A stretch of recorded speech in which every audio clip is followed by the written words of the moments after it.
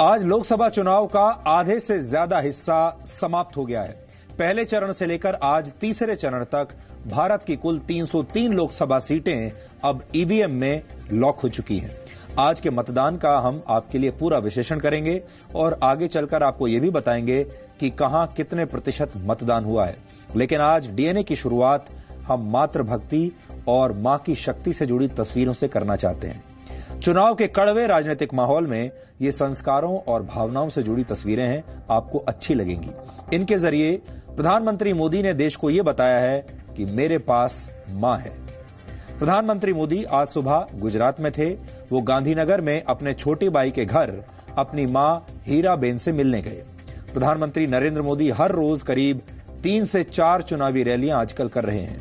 इस भागदौड़ को पीछे छोड़कर आज प्रधानमंत्री ने कुछ फुर्सत के पल अपनी माँ के साथ बिताए। प्रधानमंत्री मोदी की उम्र इस समय करीब अड़सठ वर्ष है और उनकी माँ की उम्र करीब निन्यानवे वर्ष है। आज सुबह करीब साढ़े सात बजे जब नरेंद्र मोदी और उनकी माँ के बीच मुलाकात चल रही थी, तब देश में लोकसभा चुनाव के तीसरे चरण के लिए वोट डाले जा रहे थे। लोकसभा में आखिरी के पाँच चरणों में बीजेपी की उनासी प्रतिशत सीटें दांव पर लगी हैं। आप ये भी कह सकते हैं कि सबसे बड़ी चुनावी लड़ाई से ठीक पहले प्रधानमंत्री मोदी ने अपनी माँ का आशीर्वाद भी ले लिया। माँ की ममता से ऊर्जा लेकर प्रधानमंत्री नरेंद्र मोदी अहमदाबाद के लिए रवाना हुए। गांधीनगर में मौजूद इस जगह से करीब 40 किलोमीटर दूर गांधीनगर लोकसभा सीट के रानिप पोलिंग बूथ पर प्रधानमंत्री मोदी ने अपना वोट डाला। प्रधानमंत्री नरेंद्र मोदी एक खुली जीप में सवार थे। सड़क के दोनों तरफ़ लोग नरेंद्र मोदी का इंतज़ार कर रहे थे, क्योंकि नरेंद्र मोदी का ये होम स्टेट है, यहाँ पर वर्षों तक उन्होंने काम किया है, यहाँ मुख्यमंत्री रहे हैं। इसलिए उनकी लोकप्रियता इस जगह पर पूरे देश में सबसे ज़्यादा है। पोलिंग बूथ के सामने ही बीजेपी के राष्ट्रीय अध्यक्ष अमित शाह ने अपने परिवार के साथ प्रधानमंत्री मोदी का स्वागत किया। अमित शाह गांधीनगर लोकसभा सीट से बीजेपी के उम्मीदवार हैं। गुजरात में कुल 26 लोकसभा सीटें हैं और 2014 में बीजेपी ने गुजरात की सभी लोकसभा सीटें जीती थी। यानी 26 में से 26 सीटें बीजेपी ने जीती थी पिछले चुनाव में। और इस बार भी उनके सामने गुजरात में क्लीन स्वीप की चुनौती है, क्योंकि गुजरात नरेंद्र मोदी का गृह राज्य है। आज अमित शाह और नरेंद्र मोदी के बीच एक पारिवारिक नजदीकी भी देखने को मिली। अमित शाह के बेटे और उनकी बहू ने प्रधानमंत्री नरेंद्र मोदी के चरण स्पर्श किए और फिर उनका आशीर्वाद लिया। प्रधानमंत्री मोदी ने अमित शाह की पौत्री को अपनी गोद में खिलाया और ये तस्वीरें आज पूरे देश के लिए आकर्षण का केंद्र थी। इसके बाद नरेंद्र मोदी ने अपना वोट डाला।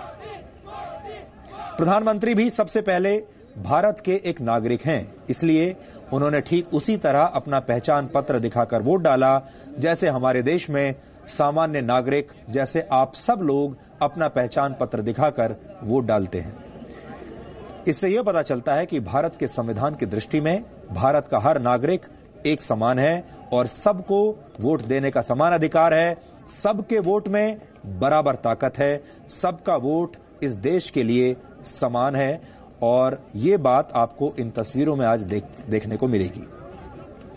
प्रधानमंत्री नरेंद्र मोदी जैसे ही वोट डालकर पोलिंग बूथ से बाहर निकले सड़क के दोनों तरफ़ जनता उनका स्वागत कर रही थी। कर सकता है आपका एक मत देश को समर्थ बना सकता है आपका एक मत देश को समृद्ध बना सकता है आपका एक मत देश को विकास की पटरी पर चढ़ा सकता है।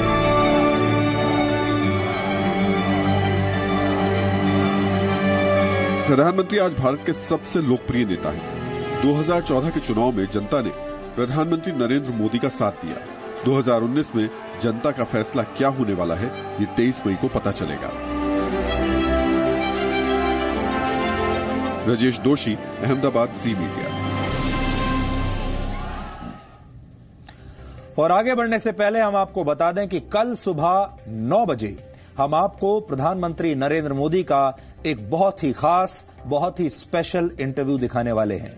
और ये बातचीत खास इसलिए है क्योंकि ये किसी पत्रकार ने नहीं, बल्कि ये interview film star Akshay Kumar ने लिया है।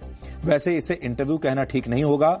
ये एक इंटरव्यू कम और बातचीत ज़्यादा है और इस बातचीत में राजनीति की मात्रा बिल्कुल ना के बराबर है।